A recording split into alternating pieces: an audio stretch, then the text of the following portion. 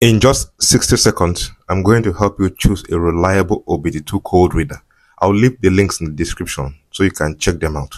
First, consider the Motopower MP69033 if you are absolutely looking for the basics and are on a very tight budget. If you are looking for a nice looking code reader that has an excellent display, you should consider the Ancel AD310. If you are considering a code reader that is easy to locate and comes with status lights, the Foxwell NT201 is the option for you. If you are a DIYer on a budget, the ability of the Foxwell NT301 to explain what codes mean makes it a smart attraction. If you are looking for a glove box all-rounder, nothing beats the Ancel AD410. If you are looking at the best Bluetooth budget scanner with full module scans, nothing beats TopScan from Topdon. Finally, want a full system scanner without the recurring annoying subscriptions?